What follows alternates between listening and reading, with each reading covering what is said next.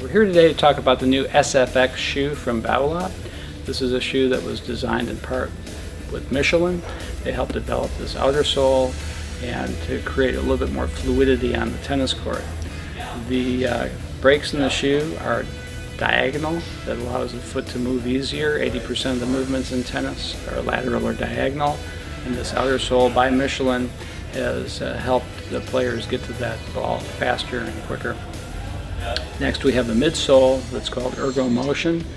It's uh, made out of two densities of uh, urethane and allows the foot to rebound quicker. On top of the shoe we have a technology called S-Shield and that uh, again provides a lightweight ventilation system but also providing durability for the high wear areas.